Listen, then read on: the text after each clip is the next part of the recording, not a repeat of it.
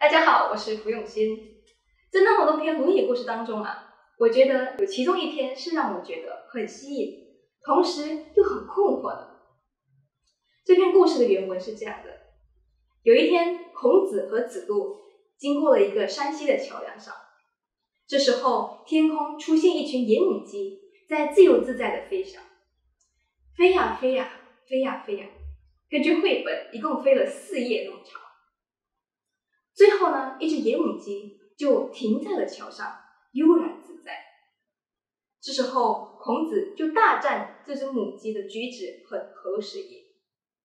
而在一旁的子路听到了，就觉得这只母鸡非常了不起，对母鸡肃然起敬，想要拱手以示尊敬。不料，母鸡却以为子路要攻击它。而飞走了。看完了这则故事之后，我一脸懵，这到底是要表达些什么呢？于是我搜寻了有关此文章的含义，发现原来懵的不仅仅是我自己，也流传着各种对原文的解说与翻译。不过我发现，在那么多版本当中，其实都有一个共同点，就是孔子所讲的。实哉，实哉！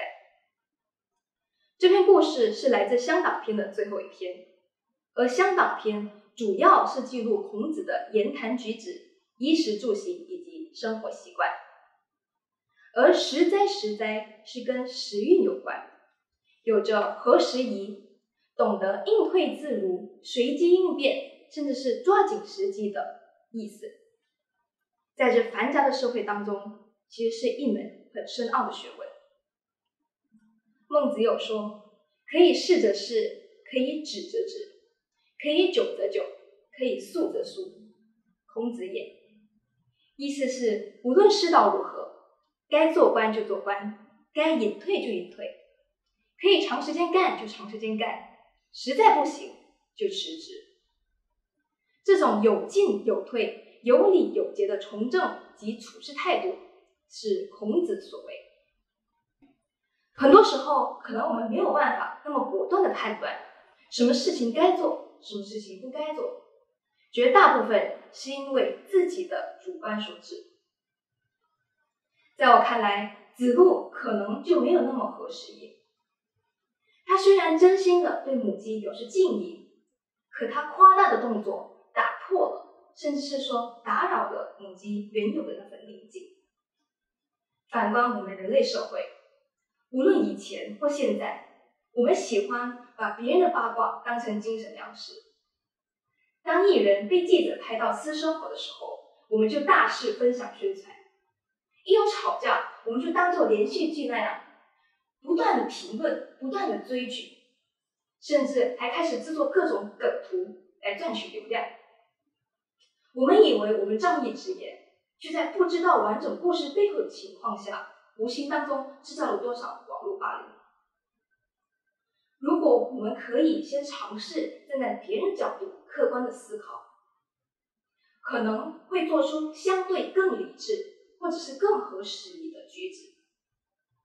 什么事情我们做了对社会有帮助，什么事情做了只会雪上加霜。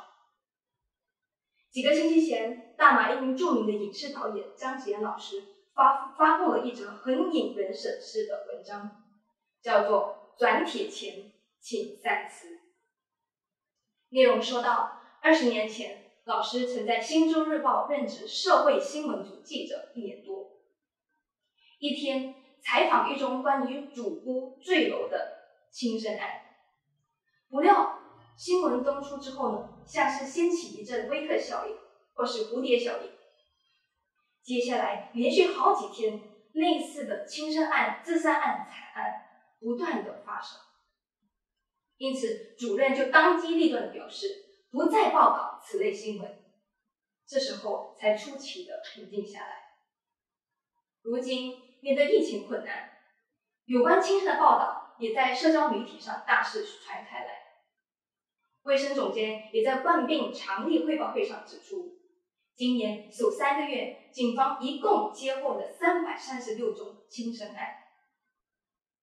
类似这样子的文章，被社交媒体传开之后，可悲的是，接下来的日子里，类似自寻短见的个案真的接二连三的上演。最后，张老师强调，我们已经不缺那些分秒急转的确诊数据，甚至是防疫的一些等等消息，还有负面新闻。如果我们今天在收到有关一则轻生的影片或者是报道的时候，我们是否可以克制着自己，不让下一周的悲剧发生？这社会是有动有静的。能够应对自如，适当的举止是很重要的。何时宜在不同的时代或不同的文化背景，虽然没有一个确切的标准，不过核心都是离不开保持和谐的关系。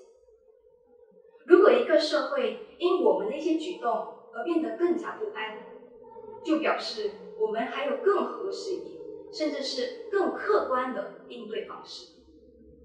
那么问题来了。要如何客观理性的看待事情呢？我听过一个比较快速的方法，就是试着减少所谓应该的想法。例如，驾豪车就应该是有钱人，不应该来寻求帮忙；甚至是好朋友就应该借钱呐，或者是我都帮你那么多忙了，你不是应该更加感激我吗？很多时候，我们会被自己片面的认知当成是唯一的结论，而给出非客观的评价。甚至是我们看到网络上的各种文章，例如三十岁前就应该如何如何，创业者就应该要怎么怎么样。而当我们对于这些文章不认同或者是不符合的时候，我们就会产生一种自我怀疑，甚至是自卑感的一个状态。自己便不能悠然自得。所以，当我们意识到自己有这种应该的想法的时候，可以先静下心来，撇开所谓的偏见或标签，试着思考不同的可能性。就像之前有一场网络直播音乐节目，当中嘉宾被要求即兴表演，可能演出过程当中没有那么的顺利。而大家就认为说，身为一个专业的演奏家，就应该能够驾驭即兴表演这件事情，开始了网络攻击。殊不知，这对于演奏家而言，一个好的表演背后是需要多次的彩排、心情上的调节，甚至是在适当的氛围或场合之下演奏的，才愿意被呈现出来。我们虽然说自由发言。是一种基本人权，不合时宜的发言会造成一种伤害。任任何人都不想要这样子被对待。社会因理而文明，无理的社会是可悲的。这社会的关系是相互关联的。今天，如果我们因为只顾自己的开心而忽略了别人的感受的话，那么社会会回报我们的就是混乱的日常。希望我们大家都能学习客观一些，早日恢复社会的宁静。谢谢。